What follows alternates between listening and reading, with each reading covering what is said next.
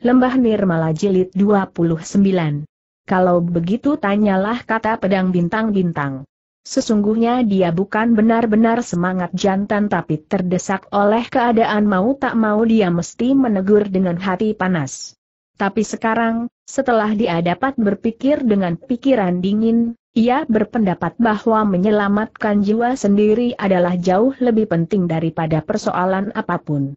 Begitulah, ketika Dewi Nirmala melihat korbannya telah memberikan tanggapan yang positif, dia pun berkata lagi sambil tertawa genit, ilmu Taigoan Sinkang merupakan ilmu mahasakti di dalam dunia persilatan, malaikat pedang berbaju perlente sebagai pewaris kepandaian sakti ini sudah pasti tak akan rela ilmunya musnah dengan begitu saja. Coba kau pikirkan kembali dengan seksama adalah di antara saudara-saudara seperguruanmu yang memiliki ilmu silat jauh lebih hebat daripada rekan-rekan lainnya. Pedang bintang termenung berapa saat lamanya, mendadak seperti teringat akan sesuatu, ia segera berseru tertahan, ya a, teringat aku sekarang, dia pasti Kim Tisya.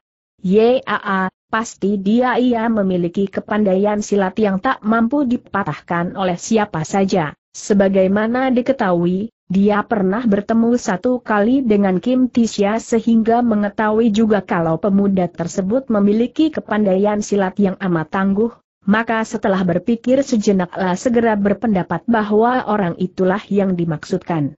Siapakah Kim Tisha itu seru Dewi Nirmala dengan wajah berseri dan sikap lebih bersemangat.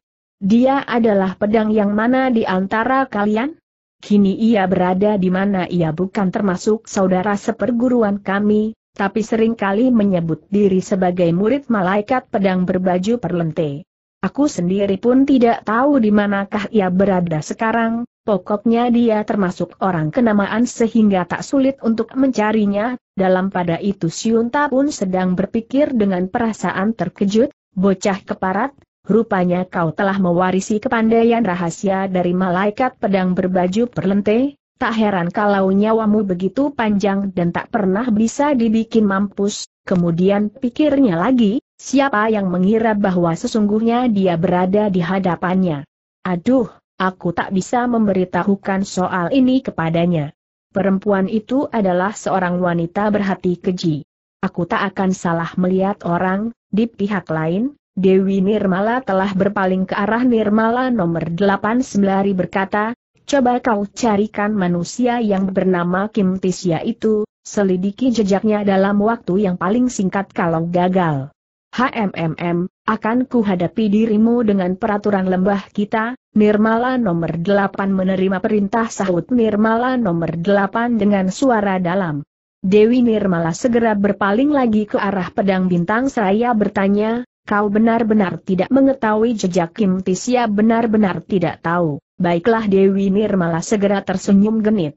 Apa yang ingin kutanyakan telah kutanyakan semua. Kau boleh pergi sekarang, pedang bintang menjadi kegirangan setengah mati sesudah mendengar perkataan itu. Namun di luar wajahnya sama sekali tidak menimbulkan perubahan apa pun sesudah manggut-manggut segera katanya, pemberian nona pada hari ini tak pernah akan kurupakan. Di kemudian hari kebaikan Anda pasti akan kubalas, selama gunung nan hijau, air tetap mengalir, sampai berjumpa lain saat.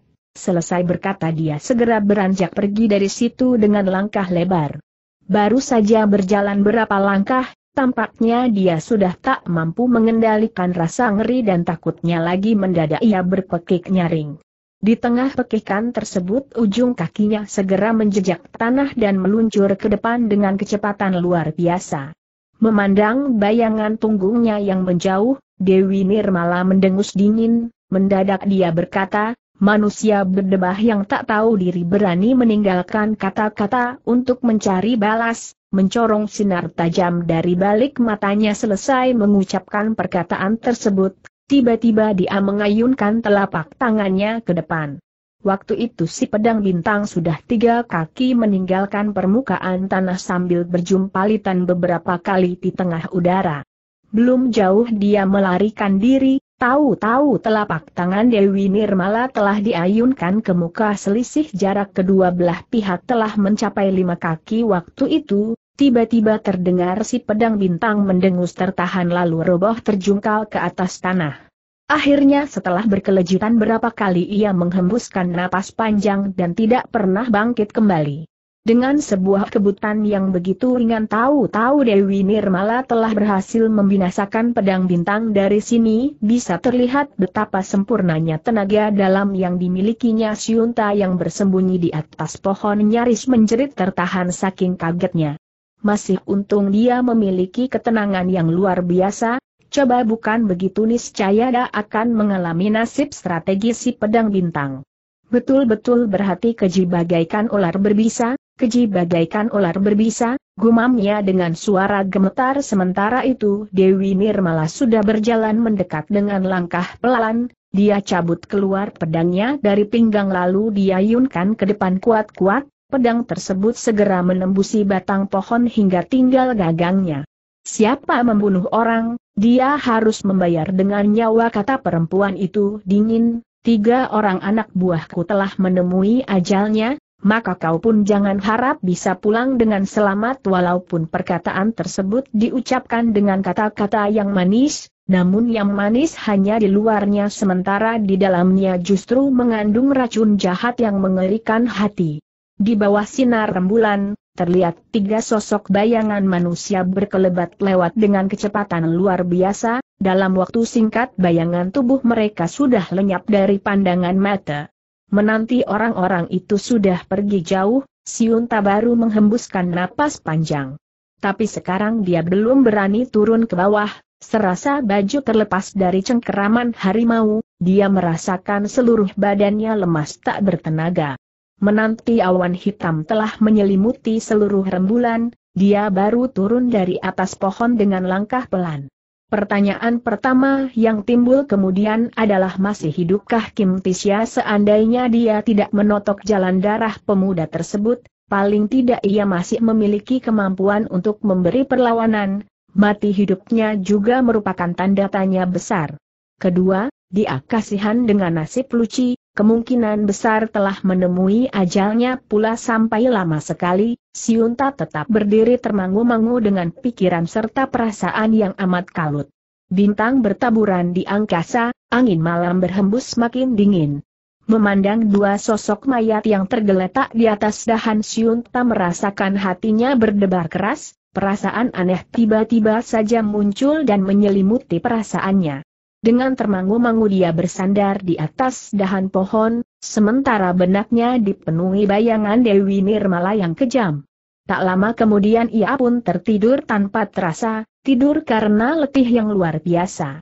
Ketika Fajar mulai menyingsing dan ia disadarkan dari tidurnya oleh embun yang basah, delapan jam telah dilewatkan tanpa terasa. Tiba-tiba saja dia merasa gerak-geriknya menjadi lamban, bahkan susah untuk digerakkan sekehendak hatinya. Bagi perasaan seorang jago silat yang tajam, hal mana sangat mengejutkan hatinya.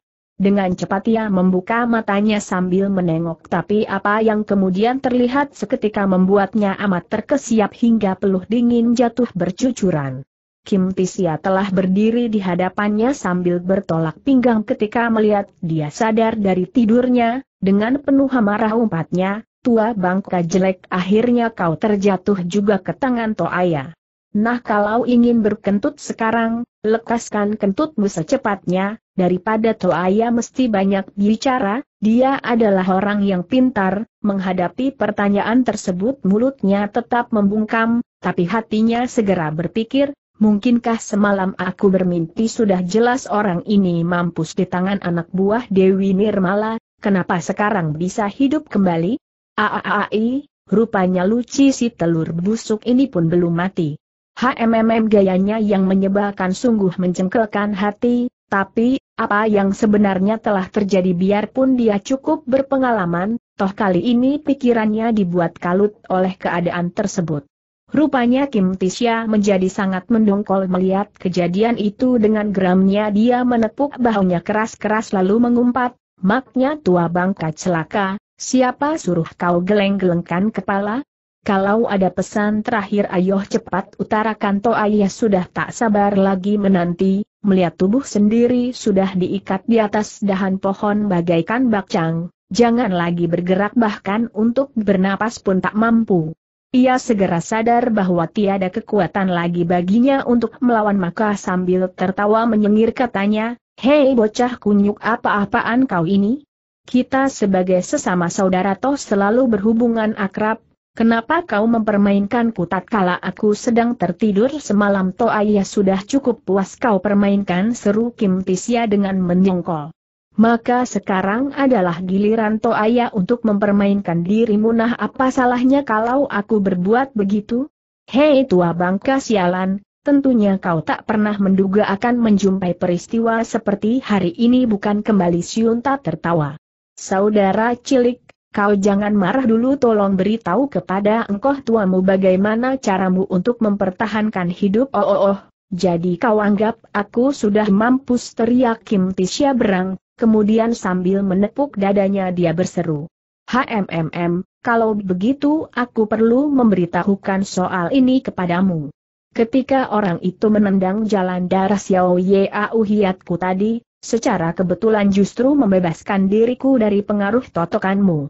Nah coba kau pikirkan sendiri, kenapa aku tak bisa hidup terus dengan perasaan tak habis mengerti Siunta berkata, dengan metu kepala sendiri aku saksikan tendangannya membuat tubuhmu mencelat sejauh tiga kaki lebih. Aku yakin biar dewa pun pasti terluka oleh serangan tersebut, kenapa kau justru tetap sehat walafiat saja? Maknya, apa si engkoh tua engkoh muda umpat Kim Tisya sangat mendengkol. Justru karena tendangan orang itu kelewat keras, maka hingga kentongan keempat semalam, kekuatanku sudah pulih kembali. Coba bukan begitu, sedari tadi aku sudah merasakan siksaanmu, ya benar-benar maknya Siunta ini selalu ci. Secara diam-diam kau telah menotok jalan darahku, membuat aku tersiksa setengah malaman. Terus terang saja, aku tidak berniat mencelakai kalian kata Siunta dengan nada minta maaf. Tapi kedatangan orang-orang itu kelewat garang, sehingga mau tak mau aku harus menyembunyikan diri lebih dulu. Akibatnya hampir saja kalian berdua kehilangan nyawa. Ya bicara terus terangnya memang akulah yang bersalah, habis berkata dia hendak menunjukkan mimik muka ingin meminta maaf kepada mereka. Kim Tisya tak mampu menahan diri lagi, dia segera melompat bangun dan berteriak keras, Hei si tua bangka, kau jangan harap bisa membujuk kami dengan kata-kata manismu. Maknya, hari ini aku wajib memberi pelajaran yang setimpal kepadamu. Seraya berkata, dia segera mengayunkan kepalanya dan menghantam dada Siunta keras-keras. Duuk! Dengan perawakan tubuh Siunta yang kecil, Bagaimana mungkin dia sanggup menahan pukulan yang keras itu, kontan saja dia menjerit kesakitan dan segera roboh terjungkal ke atas tanah. Tapi berhubung tubuhnya terikat kencang, maka biarpun dia ingin meronta pun tak ada gunanya. Kontan saja dia mencaci maki kalang kabut, sudah, sudahlah, bocah keparat, perbuatanmu ini cepat atau lambat pasti akan dibalas oleh saudara-saudaraku, Ticia, jangan kau percayai perkataannya teriak Luci cepat. Dia tak punya saudara, selama ini dia malang melintang seorang diri Kim Ticia tertawa dingin. HMMM, sekalipun dia betul-betul punya saudara yang berkepala tiga lengan enam pun aku tak ambil peduli, saudara Luci, tidak sedikit kerugian yang kau alami di tangannya, kenapa kau tidak memanfaatkan kesempatan yang sangat baik ini untuk menghajarnya habis-habisan? Toh biar dipukul sampai mampus pun tidak menjadi masalah, Luci yang berpikiran sederhana tidak ragu-ragu lagi setelah mendengar perkataan itu, ia segera mengayunkan kepalanya yang besar dan langsung dihantamkan ke dada Syunta. Tak ampun Syunta terhajar hingga mirip anjing menjilat tahi, dia bergidik sendiri hingga tak mampu berbuat banyak lagi. Sadar kalau orang yang dihadapinya sekarang adalah orang-orang kasar yang tak tahu aturan, dia percaya biar digunakan kekerasan pun tak ada gunanya. Maka kepada Kim Tisya rengeknya, saudara tua, sekalipun tidak memandang di atas wajah pendeta, hargailah wajah Seng Buddha. Jangan lagi di antara kita sudah terjalin hubungan yang cukup akrab, berbicara soal usia pun aku sudah tak mampu menahan gebukan semacam ini, siapa tahu kalau kau menggebuk sekali lagi, aku segera akan mampus. Lote, sudilah memandang pada hubungan kita sebagai sahabat tua, ampuni diriku kali ini. Lain waktu aku tak akan mengganggu Lote lagi, hei unta, panggil aku ayah, akan kuampuni jiwamu, ya betul, betul seru Luci sambil tertawa tergelak. Asal kau memanggil ayah kepada kami, kami pun tak akan menggebuki dirimu lagi, sembari mengatupkan kelopak matanya Siunta menghela napas panjang, katanya, Lote, tidak seharusnya kau menyuruhku berbuat begitu, Bagaimanapun juga sudah puluhan tahun lamanya aku berkecimpungan di dalam dunia persilatan, biar tak becus pun masih terhitung. Seorang jagoan. Masa kalian menyuruhku melakukan perbuatan yang begini memalukan? Bagaimanapun juga kalian mesti memikirkan masa depanku tampaknya persoalan tersebut amat memedihkan hatinya, dengan air mata bercucuran katanya lebih jauh, Lote, Apakah aku salah melihat orang selama ini aku selalu menganggap kalian sebagai sahabat karibku? Tak disangka, aaai, ternyata kalian memaksaku untuk memanggil ayah kepada kalian. Kim Tisya paling takut melihat orang melelahkan air mata, sekalipun dia tahu kalau Siunta adalah orang licik dan air matanya 40% hanya tangisan palsu. Namun setelah menyaksikan adegan tersebut tak urung perasaannya menjadi lemah juga sementara itu air mata masih jatuh bercucuran membasahi wajah Shunta, dengan suara yang parau dia berkata, Lote, bunuhlah aku. Bila kau memaksaku untuk melakukan perbuatan seperti ini, lebih baik aku beristirahat di alam baka saja. Saudara Tisya, dia sedang pura-pura nangis, kau jangan sampai dapat terpengaruh olehnya buru-buru Luci memperingatkan. Unta Kim Tisya segera berseru. Kau pun termasuk seorang lelaki sejati, sebagai seorang lelaki tidak seharusnya kau menangis secara begitu mudah, kenapa sih lagakmu macam banci saja berbicara sampai di sini, tiba-tiba dia mendapatkah satu akal, segera serunya, Hei Unta, Aku adalah seorang yang paling suka membalas seseorang dengan mempergunakan cara yang sama. Waktu kau menangkapku tadi, kau bersikeras hendak memerasku untuk membayar uang tebusku sebesar 500 tahil perak. Maka sekarang akulah yang telah menangkapmu, karena itu kau pun mesti membayar 500 tahil perak sebagai uang tebusannya. Mendengar perkataan itu, Siunta segera berhenti melelahkan air mata. Dengan perasaan terkejut dia berseru, apa? Kau hendak menarik 500 tahil sebagai uang tebusan. Wah, lagakmu seperti singa yang mementangkan mulut lebar-lebar, kau anggap jiwa miskinku laku 500 tahil perak oh oh lote, memandang di atas wajah Tian, ampunilah aku kali ini, maknya, aku sudah tahu kalau kau menganggap uang seperti nyawa sendiri baru kusinggung soal uang, aku sudah hampir menangis, Luci segera meludah sambil berkata pula, di dalam sakunya tentu banyak uang, sekalipun kita minta 500 tahli pun tidak bakal membuatnya miskin saudara Tisya, aku rasa begininya saja. Kalau toh uang yang berada dalam sakunya diperoleh dengan care, tidak halal, Kenapa kita tidak merampoknya habis-habisan agar ia bisa melakukan banyak amal bisa bersama orang miskin di kemudian hari berubah hebat paras muka Syunta sesudah mendengar perkataan itu, kontan saja dia mengumpat, Luci, kau si telur busuk anak kura-kura. Bacotmu bau dan pintar mengada-ngada. Dalam penetisan mendatang kau pasti dijelmakan sebagai seekor anjing budukan, sementara itu Kim Tisya sudah manggut-manggut sambil tertawa, sahutnya, bagus sekali, kalau begitu mari kita turun tangan, Luci segera berjongkok dan tanpa sungkan-sungkan lagi dia merogoh ke dalam saku Syunta serta menggerayangi semua benda yang berada di situ sepasang mata Syunta nampak merah berapi-api. Giginya saling gemurutukan keras, Jelas rasa bencinya telah merasuk sampai ke dalam tulang.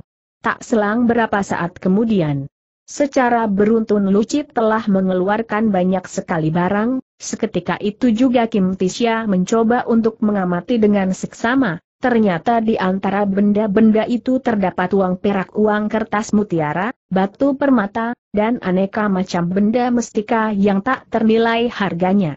Menurut penilaian Kim Tisha sepintas lalu, benda-benda yang berhasil dikeluarkan dari saku Siunta mencapai berapa laksa tahil sambil tertawa dingin Luci segera berseru, aku hanya tahu dia kaya sekali, tak kusangka kekayaannya berlimpah-limpah dan amat mengejutkan hati, rasa benci Siunta benar-benar sudah merasuk ke dalam tulang, ketika mendengar perkataan itu, kembali dia mengumpat, Luci, kau dilahirkan oleh kura-kura perbuatan salah apa sih yang pernah ku perbuat terhadapmu?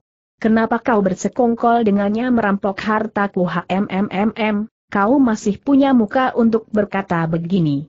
Aku ingin tahu, dari mana kau dapatkan semua harta kekayaan itu merupakan hasil yang kutabung sepanjang hidupku, kau jangan menduga yang bukan-bukan, Kim Tisha mendengus dingin HMMMM, kau masih mencoba untuk membantah? Dari sikapmu dalam menghadapi Luci. Aku sudah tahu kalau harta kekayaanmu berasal dari jalan tak halal, bagaimanapun jua, aku tak bakal tertipu oleh tipu muslihatmu, mendadak sorot matanya berhenti di atas hancuran perak milikinya yang berserakan di antara intan permata, kontan saja umpatnya lagi, Kau betul-betul setengah mati sampai hancuran perak milikku pun menarik minatmu. HMMMM, dari sini dapat diketahui sampai di manakah tabiatmu yang sebenarnya, merah padam selembar wajah Syunta, cepat-cepat dia pejamkan rapat-rapat dan berlagak tidak mendengar perkataannya. Dengan gerakan cepat Luci membungkus semua harta rampasannya ke dalam secari kain setelah diikat kencang-kencang, ujarnya, segala sesuatunya sudah beres, saudara Kim mari berangkat, baik Kim Tisya manggut-manggut. Mari kita membawa serta dirinya, seraya berkata tiba-tiba saja dia menotok jalan darahnya, menyusul kemudian melepaskan siunta dari belenggu. Kemudian satu dari kiri yang lain dari kanan membawanya pergi ke arah barat sepanjang jalan Siunta menunjukkan sikap yang amat tenang, kecuali Kim Tisya atau Luci mengajukan pertanyaan kepadanya. Dia pun tidak banyak berbicara. Orang ini memang cerdik sekali, setelah sadar kalau dirinya terjatuh ke tangan lawan, sehingga banyak persoalan tak mungkin bisa dilakukan sendiri, dia pun tidak banyak cincong tapi membiarkan kedua orang tersebut berbuat untuknya. Tiga puluh li kemudian, sampailah mereka bertiga di kota Liongganxia. Kota tersebut merupakan pusat perdagangan sehingga kota amat ramai dengan manusia yang berlalu lalang.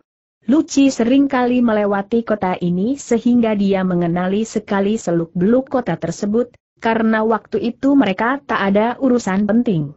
Maka diajaknya Kim Tisya sekalian pergi menonton sebuah pertunjukan sandiwara. Bagi Kim Tisya, pertunjukan tersebut dianggap suatu yang aneh sekali, karena perasaan ingin tahu. Bersama Luci berangkatlah mereka menuju ke tempat pertunjukan itu dan menanti diadakannya tontonan. Siunta duduk pula di sisinya dengan tenang, sementara sepasang matanya berputar entah sedang memikirkan akal muslihat apa tapi Kim Tisya percaya, dia tak akan mampu berbuat apa-apa, karena jalan darahnya sudah ditotok. Berapa saat sudah lewat, pertunjukan belum juga dimulai sementara penonton yang berdatangan semakin banyak sampai akhirnya kursi yang tersedia sudah mulai penuh dan suara hiruk pikuk memekikan telinga saat itulah Kim Tisya baru menganggap tontonan ini suatu permainan yang tidak sederhana. Berapa saat kemudian, Seorang yang mengenakan jubah sutera munculkan diri dari balik panggung. Disusul kemudian suara gembrengan pun dibunyikan ramai sekali, layar kuning selebar berapa kaki pun pelan-pelan ditarik ke samping. Kim Tisya menyaksikan panggung itu tetap kosong dan tak terlihat seorang manusia pun, tanpa terasa pikirnya, huh, Apanya yang menarik mungkinkah yang dinamakan tontonan adalah permainan gembrengan dari orang-orang yang berada di tesi panggung itu, sementara itu suara gembrengan dan tambur berkumandang makin keras dan cepat suaranya bagaikan ada seribu prajurit yang sedang terlibat dalam suatu pertarungan sengit. Kim Tisya mulai mendongkol dan tak sabar, pikirnya, huh, berisik amat. Suara gembrengan dan tambur yang dibunyikan macam orang mau berangkat perang. Apakah tontonan begini yang disukai banyak orang? IHMMM, YAAA, aku tahu sekarang. Sudah pasti hanya orang Edan yang gemar menonton pertunjukan semacam ini, dia mencoba berpaling ke samping, dilihatnya Siunta sedang memperhatikan ke atas panggung tanpa berkedip. Wajahnya amat serius dan kelihatan asik menonton maka tanpa terasa dia pun berpaling ke arah panggung.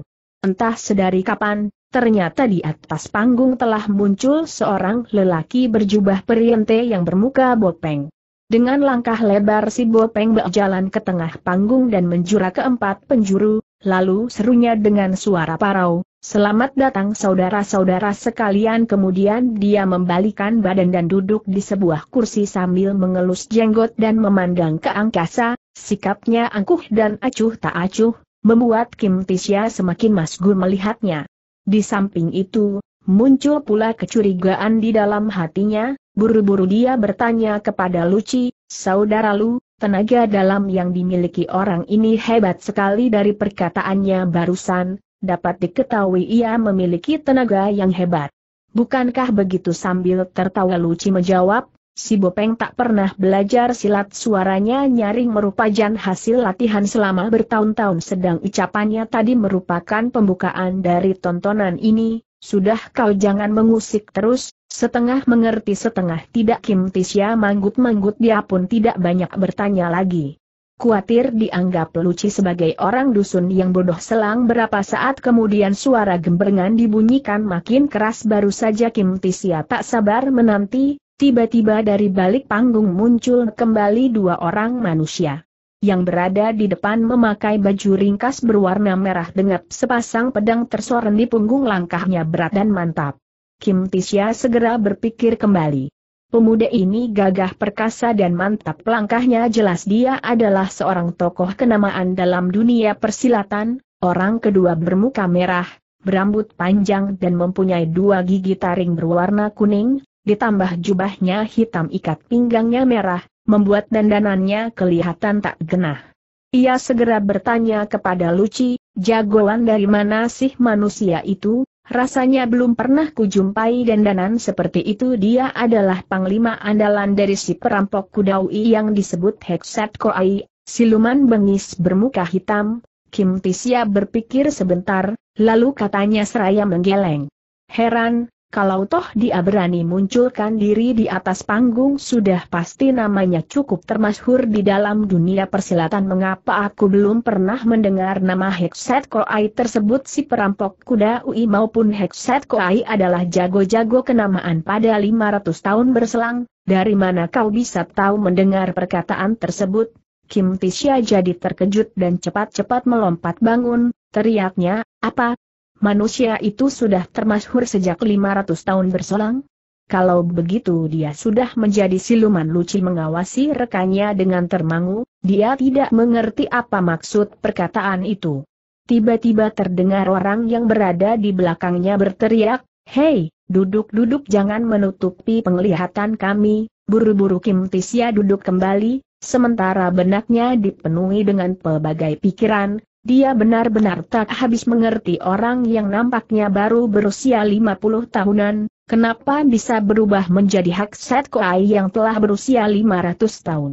Dalam pada itu di atas panggung sudah berlangsung tanya jawab si Bopeng berkata dengan suara dalam, Saudara, ada urusan apa Anda datang kemari di senja ini Kim Tisya segera menjadi melongo seingatnya saat ini baru tengah hari. Kenapa orang di panggung mengatakan sudah senja? Mungkinkah mereka hidup kelewat lama di dunia ini sehingga suasana pun menjadi kacau dalam pandangan mereka?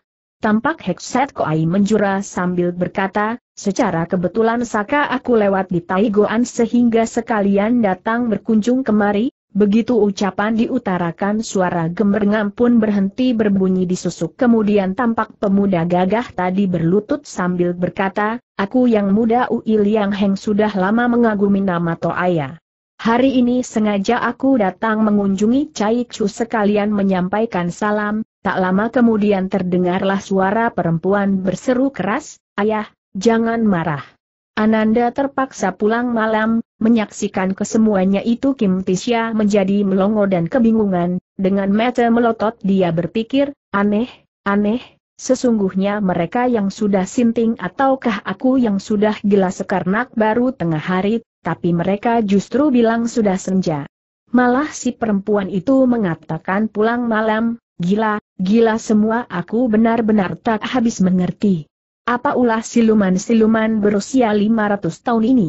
Dia mencoba memperhatikan Luci dan Siunta, bahkan hampir semua penonton mengikuti setiap kejadian di panggang dengan seksama seakan-akan mereka khawatir kalau sampai ketinggalan setiap adegan yang terjadi. Maknya, umpat Kim Tisya di hati. Hebar betul kesadaran orang-orang itu untuk mengikuti kejadian di panggang. Huuh, benar-benar sebuah siksaan hidup, tiba-tiba terdengar Luci bergumam, nah, Sinona besar telah muncul sudah pasti dia yang menguasai seluruh panggung benar-benar asyik. Benar-benar asik, ketika Kim Tisya memperhatikan kembali ke atas panggung, di situ telah muncul seorang nona yang berbaju sutera, berdandan medok dengan usia antara 28 tahunan. Yang paling tak sedap dilihat adalah sepasang matanya yang besar dan jeli justru diberi cat warna di bawah kelopak matanya mukanya dibedaki tebal dan bibirnya diberi gincu tebal. Hal ini membuat seorang gadis yang sesungguhnya menarik berubah macam perempuan siluman saja. Huuh, tampaknya lebih jelek daripada monyet. Heran siapa yang mendandaninya hingga macam begitu orang itu mesti dihajar habis-habisan pikir Kim Tisha. Tak lama kemudian musik bergema dan perempuan itu pun menari sambil menyanyi yang disambut tepuk tangan riuh dari penonton. Hanya Kim Tisya seorang menutupi telinga sendiri dengan jari tangan. Hati masgul dan tak gembira, diam-diam ia menyalahkan Luci yang tidak seharusnya mengajaknya kemari hingga dia mesti merasakan siksaan hidup, ia mencoba berpaling, melihat Luci pun turut bertepuk tangan dengan gembira, tiba-tiba saja timbul amarah di hatinya. Dengan suara keras segera bentaknya, Hei Luci, kalau kau berani bertepuk tangan lagi, Jangan salahkan kalau aku akan menggebukmu saudara Kim. Apa kau bilang? Seru Luci. Agak tertegun. Jangan bertepuk tangan atau aku tak akan menganggap dirimu sebagai teman lagi. Ancaman Kim Tisya semakin mendongkol. Luci tidak habis mengerti apa yang terjadi. Melihat rekannya bermuka macam dia pun tak berani melanggar keinginannya dan segera berhenti bertepuk tangan. Kim Tisya segera bergumam, Luci, perasaanku kurang baik, maafkan diriku, selesai berkata, ia segera bersandar di kursi dan tertidur nyenyak. Entah berapa lama sudah lewat, suara gemerengan yang amat keras mengejutkan dia dari tidurnya. Ketika membuka matanya kembali, dia saksikan banyak orang sedang mengucurkan air mata. Apa yang terlihat membuat rasa kantuknya hilang seketika, dengan perasaan terkejut bercampur keheranan dia bertanya kepada Luci, Hei, Sebenarnya apa yang terjadi, kenapa kalian semua, kata-kata itu tak sanggup dilanjutkan kembali, ternyata wajah Luci pun sudah dibasahi oleh butiran air mata. Luci adalah sahabatnya, tentu saja dia lebih menguatirkan dirinya, dengan suara dalam segera tegurnya dengan nada dalam, Saudara Luci, siapa yang telah menganiaya dirimu? Biar aku balaskan dendam bagimu, Sambil berkata dia mencoba memperhatikan keadaan di sekitar situ, namun yang tampak hanya wajah-wajah yang sedih, tak seorang pun menunjukkan wajah bengis atau buas sementara dia masih keheranan, Luci telah menunjuk ke arah panggung seraya berkata lagi. Aaai, si anak durhaka itu benar-benar kejam, noneknya sudah berusia 80 tahun, lagi pula menderita sakit tencok yang berat. Tapi dia masih begitu kejam dan tega untuk mencambuki tubuhnya, Kim Tisya segera berpaling ke arah panggung. Betul juga dia saksikan seorang lelaki setengah umur sedang mencambuki seorang nenek berambut putih sambil tertawa licik, sementara si nenek memeluki kakinya sambil menangis dan meminta ampun. Tapi lelaki setengah umur itu benar-benar berhati jahat, sambil tertawa dingin dia mencambuk terus tiada hentinya. Empat orang centeng dan seorang gadis menangis sambil berdiri ketakutan di sisinya. Ternyata tak seorang pun yang berani melerai. Melihat adegan itu, timbul hawa amarah di dalam hati Kim Tisya, pikirnya tanpa terasa, kurang ajar, di tengah hari bolong pun terdapat manusia bagaikan binatang yang berani menghajar orang tua semaunya sendiri. Aku sebagai seorang pendekar tak boleh berpeluk tangan saja, akan kuberi pelajaran yang setimpal kepadanya, apa yang terpikir dilakukan, tiba-tiba dia melompat bangun dan lari menuju ke panggung. Luci berniat memanggilnya tapi tak berhasil, terpaksa dia hanya mengawasi bayangan punggungnya dengan termanggul sementara itu para penonton pun dibuat tertegun oleh peristiwa yang terjadi sangat mendadak dan di luar dugaan itu kini Kim Tisia langsung melompat naik ke atas panggung dan mencengkeram lelaki setengah umur yang berperan sebagai anak durhaka itu, kemudian tanpa ditanya apa atau bu, ia langsung menghajarnya sampai babak belur. Dalam waktu singkat orang itu sudah menjerit-jerit kesakitan dan bergulingan di atas tanah sampai rasa mendongkolnya sudah mereda, lelaki setengah umur itu telah berada dalam keadaan tak sadar suasana menjadi gaduh dan heboh, disusul kemudian dari balik panggung bermunculan aneka ragam manusia, ada pendotanya, Tosu Chai, Buan, perempuan tua, gadis muda dan aneka ragam lainnya sambil munculkan diri, Orang-orang itu berteriak, Hei, bagaimana sih kamu ini kenapa memukul orang secara sembarangan jangan dianggap tiada hukum negara yang berlaku di sini sehingga kau boleh memukul orang secara sembarangan kentut anjingmu umpat Kim Tisya marah. Kalian sendiri hanya berpangku tangan tanpa menolong melihat kesusahan orang sekarang berani mencaci maki diriku. HMMM, kalau toh ayah sudah marah, akan kubakar gedung kalian sampai ludas, tiba-tiba si menek yang dihajar oleh anak durhaka itu melompat bangun, lalu sambil menuding ke arahnya, dia mengumpat, anak muda yang tak tahu urusan, kenapa kau memukul orang secara sembarangan? Apakah kau tidak takut dengan petugas negara nenek itu semakin marah? Ngaco belo, ini kan cuma permainan sandiwara. Dipukul pun bukan dipukul secara sungguhan, Kenapa kau justru melukai orang lain? Benar-benar menjengkelkan sambil berkata dia segera menarik rambut sendiri hingga terlepaslah rambutnya yang berubah itu. Ketika Kim Tisya mengamati dengan seksama dia makin terperanjat lagi, teriaknya amat terkejut, ah ah ah ah ah, rupanya kau seorang pria? Enyah kau dari sini umpat pria tersebut marah. Sedikitlah tahu diri, kau harus mengerti, kami yang mencari sesuap nasi dengan mengadakan pertunjukan ini bukan manusia yang bisa dipermainkan dengan semaunya, mimpi pun Kim Tisia tak pernah menyangka kalau dalam waktu singkat telah terjadi perubahan sebanyak ini, untuk sesaat dia menjadi tertegun dan tak mampu mengucapkan sepatah kata pun dengan cepat keempat orang lelaki yang berdandan centeng itu mengambil sepikul air dingin dan diguyurkan di atas kepala si anak durhaka tak lama kemudian si anak durhaka itu pun siuman kembali dari pingsannya. Begitu membuka matanya dan melihat Kim Tisya masih berdiri tegak di hadapannya si anak durhaka itu segera menjerit kaget, Lalu tanpa banyak bicara dia membalikan badan dan melarikan diri terbirit-birit keadaannya mengenaskan sekali. Waktu itu para penonton di bawah panggung tak ada yang melelahkan air mata lagi semua orang dibuat tertawa terpingkal-pingkal oleh peristiwa aneh yang tak pernah diduga itu. Luci yang paling repot, cepat-cepat dia melompat naik ke atas panggung dan menjura kepada para pemeran sandiwara sambil berkata, Maaf, Maaf berhubung saudaraku ini berjiwa ksatria dan selalu ingin tampilkan diri bila melihat kejadian yang tak adil, maka dia pun menjadi tak tahan setelah melihat permainan kalian yang begitu sungguh-sungguh atas kelancangan dari saudaraku ini, harap saudara sekalian sudi memaafkan.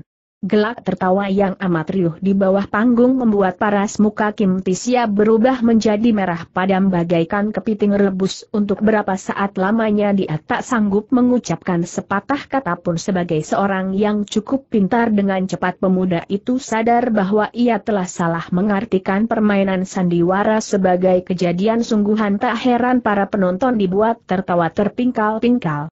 Untung saja bujukan Luci berhasil meredakan amarah para pemeran sandiwara itu. Akhirnya Luci mengeluarkan sekeping uang perak dan diserahkan kepada pemimpin rombongan sandiwara sambil katanya, Anggaplah uang tak seberapa ini sebagai ongkos untuk merawat mereka yang terluka, sedang sahabatku itu pun susah untuk diminta mohon maaf untuk itu harap saudara sekalian sudi memaafkan, dengan susah payah kehebohan tersebut dapat diredakan. Meski pertunjukan dilanjutkan kembali, namun Kim Tisia tak punya muka untuk berdiam lebih lama di situ. Bersama Luci dan Siunta, Tergopoh-gopoh mereka pergi meninggalkan tempat itu. Di tengah jalan, Siunta berkauk-kauk marah, Luci, kau bisa saja bersikap royal, sedikit-dikit lantas mengambil uangku yang kau gunakan seperti yang pribadimu saja. HMMM, coba kalau jalan darahmu tidak tertotok, tak nanti ku biarkan kau berbuat semena-mena. Toako, uang adalah harta sampingan, sebagai orang persilatan, Mengapa sih pikiranmu tak bisa terbuka? Ucap Luci? Maknya, seandainya pikiranku bisa lebih terbuka, saat ini aku sudah mati. Kelaparan Luci tahu bahwa usahanya untuk membujuk tak akan berhasil, dia pun segera berpikir, gunung mudah dirubah, namun watak susah diganti, kalau dia sudah begitu kokoh dengan pendiriannya yang memandang yang bagaikan nyawa sendiri rasanya biar aku berbicara sampai lidahku membusuk pun tak bakal dapat menggerakkan hatinya. Sementara itu Kim Tisya berjalan dengan kepala tertunduk dan langkah yang sangat berat, Lucit tahu rekannya dalam keadaan tak senang hati, dia pun tidak mengajaknya berbicara. Mendadak melintas lewat tiga orang lelaki kekar berbaju hitam, Terdengar salah satu di antaranya sedang berkata, Hei, sudah dengar belum kalian malam ini kita akan bergerak? Timbul rasa ingin tahu di hati Kim Tisya setelah mendengar pembicaraan ini, dengan cepat ia membalikan badan dan mengikuti di belakang ketiga orang tersebut. Kedengaran salah seorang di antara mereka berbisik, si penyanyi opera itu sangat bagus. Toako, sudah kuputuskan akan menyerahkan si penyanyi opera itu untukmu, Samte memang baik hati kata lelaki di tengah. Terus terang saja, aku memang menaruh maksud kepadanya, kalau begitu kita tetapkan begini saja, malam nanti kita bergerak, Kim Tisia khawatir jejaknya diketahui ketiga orang itu, selesai mendengar pembicaraan tersebut, dia segera membalikan badan dan menyusul rombongan sendiri kepada Luci segera tanyanya, tolong beri penjelasan kepadaku, manusia macam apakah si penyanyi opera itu? Biasanya penyanyi opera itu adalah seorang perempuan panggung, oh, oh begitu Kim Tisya manggut-manggut. Terima kasih buat keteranganmu itu, diam-diam dia telah mengambil keputusan, dalam menghadapi persoalan apa pun dia tidak ingin memberitahukan kepada Luci lagi, karena memang begitulah wataknya dia lebih senang menanggulangi sendiri masalah yang dihadapi daripada memohon bantuan orang lain. Tanpa terasa sampailah mereka di depan sebuah rumah penginapan yang memakai merek Pengbin. Ketika Kim Tisya mendongakkan kepalanya untuk memperhatikan cuaca mendadak dia saksikan ada sebuah kain panjang yang tergantung di atas atap rumah, di atas kain tadi terteralah beberapa huruf yang berbunyi, Nirmala nomor 7 menantang sembilan pedang dari dunia persilatan untuk berduel, membaca tulisan ini, pemuda Kim segera berpikir, aduh celaka, dengan munculnya tulisan tersebut di sini, berarti suhengku sekalian pasti menginap di tempat ini, jejakku tidak boleh sampai diketahui mereka, berpikir demikian cepat-cepat dia menarik Luci dan Siunta untuk diajak pergi, bisiknya, mari kita pindah ke rumah penginapan yang lain saja, kemudian dengan gelisah dia berpikir. Seandainya musuh besar pembunuh suhu bukan saudara seperguruanku, sebagai adik seperguruan mereka, sesungguhnya aku wajib menyumbangkan sedikit tenaga. Ilmu silat dari Nirmala nomor 7 pasti jauh lebih hebat daripada Nirmala nomor 10 apa yang harus kulakukan sekarang hei bocah muda, Aku ingin menggunakan dua macam rahasia yang sangat penting untuk ditukar dengan kebebasan. Bagaimana menurut pendapatmu setelah berhenti sejenak, kembali tambahnya, bahkan rahasia tersebut berhubungan erat sekali dengan dirimu.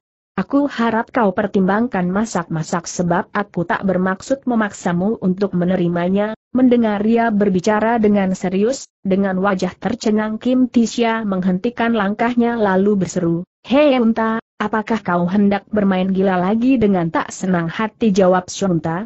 Jangan kau anggap aku orang yang suka mengingkari janji. Padahal, aaai, lebih baik tak usah kukatakan, toh aku tidak berniat memaksamu, kemudian setelah berhenti sejenak kembali dia melanjutkan sebelum membicarakan persoalan ini, aku perlu menyinggung sedikit tentang masalahnya. Terus terang saja, kedua rahasia tersebut menyangkut soal perguruanmu, Kim Tisya segera merasakan hatinya berdebar keras sesudah mendengar perkataan itu, pikirnya, dia menyebut kalau rahasia itu menyangkut rahasia perguruanku. Jangan-jangan dia maksudkan sebab kematian dari suhuku malaikat pedang berbaju perlente, teringat kembali akan tujuannya berkelana dalam dunia persilatan, perasaan ingin taunya pun meningkat sepuluh kali lipat. Tak tahan lagi dia bertanya, apakah kau mengetahui sebab-sebab kematian guru selain persoalan itu, dalam perguruan kami tidak terdapat rahasia lain. Hei Unta, Betulkan perkataanku ini ia seperti bertanya pada diri sendiri, juga seperti bertanya kepada orang lain pokoknya dia benar-benar ingin mengetahui rahasia tersebut. Melihat pemuda itu sudah tertarik Siunta pun berlagak makin merahasiakan masalahnya, ia berkata, maaf, setelah perundingan antara kedua belah pihak selesai dibicarakan, aku tak akan menyinggung kembali masalah tersebut, Kim Tisya sangat gemas bercampur gelisah. Kalau bisa dia hendak menghajar ornak itu habis-habisan, katanya lagi, Hei Unta, kau benar-benar maknya, aku toh bukan anak kecil siapa yang tak tahu kalau kau bakal melarikan diri setelah ku bebaskan dirimu nanti, sambil menepuk dada si Unta berkata, ku jamin dengan harga diriku, seandainya, ia berhenti sejenak dan tertawa dingin, tambahnya, Bila kau tak percaya kepadaku, carilah dengan sistem yang lain, dengan care bagaimana? Coba kau terangkan kau toh bisa saja tidak membebaskan aku secara keseluruhan cukup membebaskan saja jalan darahku sewaktu ku bicarakan soal rahasia tadi. Kalian berdua dapat mengawasi aku dari samping. Seandainya aku hendak menipu kalian dengan tipu muslihat, kau pun bisa berusaha mencegahku dengan kekerasan, Bukankah ilmu silat kalian berdua sangat hebat, apalagi selisih jarak kita demikian dekat, tak nanti aku bisa melepaskan diri dari tangan kalian berdua, baik, kita penuhi permintaanmu itu ucap Kim Tisya kemudian. Dia ingin cepat-cepat mengetahui kedua macam rahasia tersebut, maka sekalipun dia berpendapat bahwa care tersebut tak masuk di akal, namun dia tak ambil peduli. Ketika Luci diberi tanda, ia tak berani berayal dan segera membebaskan si unta dari pengaruh totokan. Begitu jalan darahnya bebas, si unta tetap lemas seperti sedia kala karena peredaran darahnya belum menjadi lancar kembali. Luci segera menyiapkan telapak tangannya di atas ubun-ubun orang tersebut. Asal Siunta menipu mereka, dia pun akan segera melancarkan serangan yang mematikan dengan suara keras Siunta berseru, Rahasia pertama adalah tentang kematian si pedang bintang. Anggota termuda dari sembilan pedang dunia persilatan di tangan dua Nirmala. Kim Tisya berseru tertahan, tapi sebentar kemudian ia telah berseru dengan penuh amarah, ngaco belot tak karuan, selama dua hari belakangan ini kau tak pernah meninggalkan sisi kami. Dari mana kau bisa tahu jika kau melihatnya, Kenapa aku sama sekali tidak melihatnya? Syunta tidak langsung menanggapi pertanyaan itu, dia tertawa dingin kemudian ujarnya, kau masih teringat dengan peristiwa pada malam itu? Ya masih ingat, malam itu merupakan malam sial bagiku, tapi juga malam sial bagimu, kau masih ingat bagaimana ditendang orang sampai jatuh semapu tentu saja masih ingat sahut Seng pemuda. Kemudian dia balik bertanya, tapi apa sangkut pautnya peristiwa itu dengan kematian si pedang bintang kau tahu orang yang menendangmu waktu itu adalah Nirmala nomor tujuh di saat kau tak sadarkan diri, Nirmala nomor delapan dan Dewi Nirmala pun munculkan diri. Pedang bintang sudah menjadi tawanan Dewi Nirmala waktu itu setelah semua keterangan berhasil diperoleh dari mulut pedang bintang. Dewi Nirmala pun mengayunkan tangannya membunuh dirinya, Kali ini mau tak mau Kim Tisya harus percaya dengan keterangannya, Dia segera menggigit bibirnya kencang-kencang sepasang matanya memancarkan sinar tajam, sementara di hati kecilnya diam-diam ia bersumpah, Dewi Nirmala, kau iblis jahat.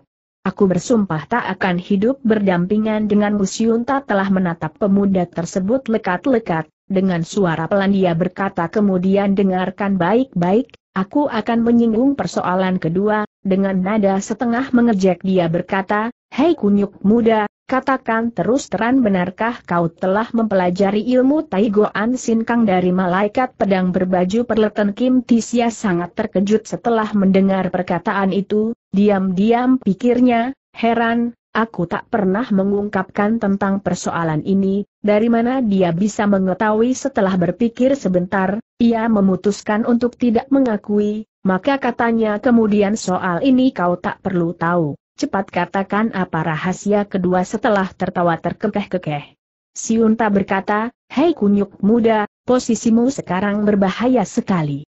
Sebelum menemui ajalnya si pedang bintang telah membocorkan segala sesuatunya kau tahu tujuan si Dewi Nirmala tak lain adalah ilmu Taigoan Sinkang, sekarang dia telah mengutus orang untuk melacaki jejakmu di mana-mana, Dewi Nirmala ingin merampas ilmu Taigoan Sin Kang kutanya Kim Tisya agak tertegun. Aku mendengar kesemuanya itu dengan metu kepala sendiri. Aku rasa berita ini tak bakal salah, lalu setelah berhenti sejenak, lanjutnya, Dewi Nirmala benar-benar sangat hebat, entah dia berasal dari mana, tapi yang pasti dia mampu membunuh si pedang bintang dari jarak lima kaki. Hei kunyuk muda, aku lihat masa depanmu bakal suram, aku tak bakal takut kata Kim Tisya sambil membusungkan dadanya. Ada tentara yang datang ke bendung, ada air bah yang menggulung ku tahan, biar langit ambruk pun aku tak bakal takut, jangan lagi hanya seorang manusia. Entah bagaimanapun juga, yang jelas kau bakal mati, karena itu aku tak berani melakukan perjalanan bersamamu. Takutnya bila si Dewi Nirmala tak mau tahu urusan hingga aku pun, turut dibantai wah ah, bisa berabe jadinya, begitu perkataan tersebut diutarakan tiba-tiba saja Kim Tisya teringat akan suatu persoalan, dengan cepat dia menempelkan telapak tangannya di atas dadanya, hawa murni dipersiapkan, Asal kekuatan tersebut dipancarkan niscaya Syunta bakal muntah darah dan mati. Hei kunyuk tua segera bentaknya.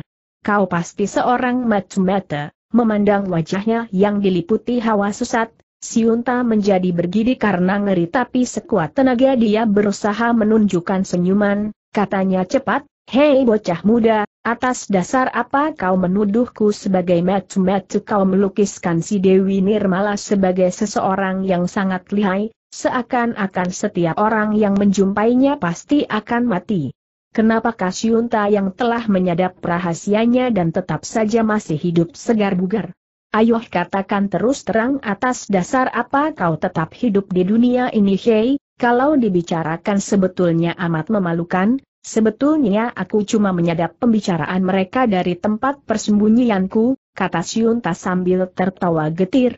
Dengan gemas Kim Tisya menarik kembali telapak tangannya, lalu berkata, kecuali itu, apakah kau masih berhasil mendapatkan rahasia lain seandainya masih ada, kau pun tidak berhak memaksaku untuk mengatakan kecuali kau bersedia membayar dengan sejumlah uang, berbicara tentang uang, Tiba-tiba saja sepasang matanya bersinar tajam, seakan-akan anjing pemburu yang melihat korban.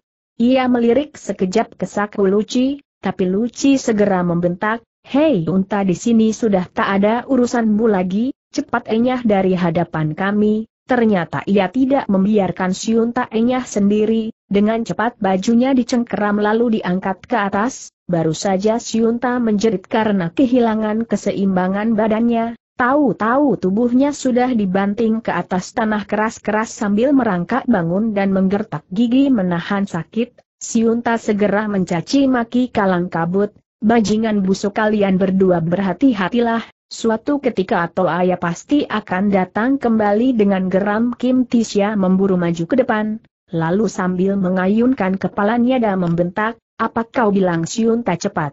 Cepat membalikan badan dan melarikan diri terbirit-birit. dalam waktu singkat bayangan tubuhnya sudah lenyap dari pandangan mata.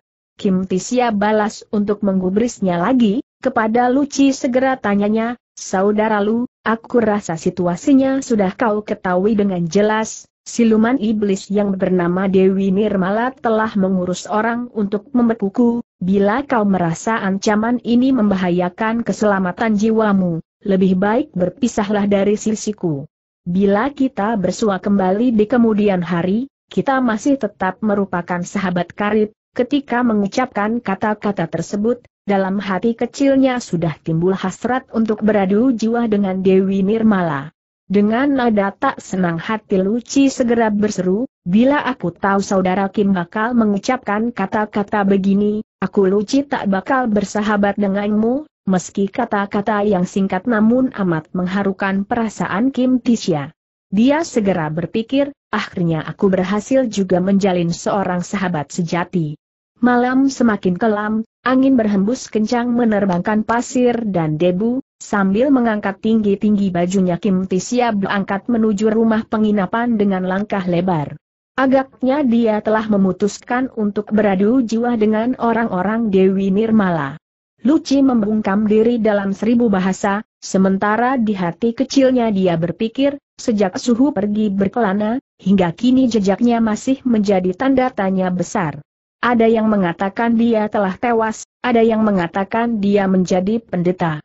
Tapi bagaimanapun juga sepantasnya dia memberi kabar kepadaku, sebaliknya Kim Tisya juga sedang terbenam dalam pemikiran sendiri, pikirnya waktu itu, Seandainya orang yang berada di rumah penginapan itu si pedang perak, pedang tembaga dan pedang besi, pertemuan saat itu tentu serba rikuh, sebaliknya andai kata mereka adalah pedang kayu, pedang api, pedang tanah dan pedang air, terutama si pedang kayu, dia tentu akan marah kepadaku gara-gara urusan Putri Kim Huan Waaah. Rasanya kepergianku kali ini hanya mencari penyakit untuk diri sendiri, setelah termenung sejenak, akhirnya dia pun bergumam, lebih baik aku turun tangan secara diam-diam. Yaa, turun tangan secara diam-diam.